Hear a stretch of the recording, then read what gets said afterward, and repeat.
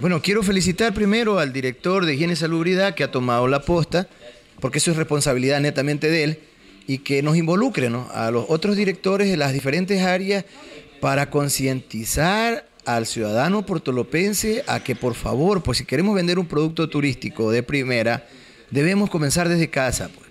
Yo pienso que ya es el momento de que se haga un acto de conciencia cívica, turística, ambiental, para que el ciudadano mantenga limpia sus calles, mantenga limpia sus veredas, saque su basura a la hora que es, que pase el carro recolector y comenzar a trabajar en, forma transversal. Yo creo que no solamente es obligatoriedad, como yo a mucha gente escucho decir que, que yo pago mis impuestos y que el municipio tiene que cumplirme. No, esto es un trabajo de todos un trabajo que se debe dar en forma transversal y que vamos a tener una ciudad diferente, una ciudad limpia.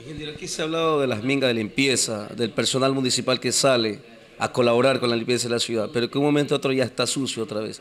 Es decir, no, no es un mecanismo sostenible.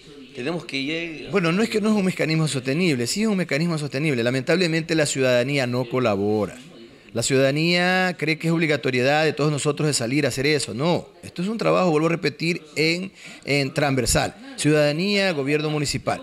Yo creo que si se comienza a actuar en una forma responsable, en una forma que verdaderamente Puerto López sea una ciudad limpia, es comenzando desde casa.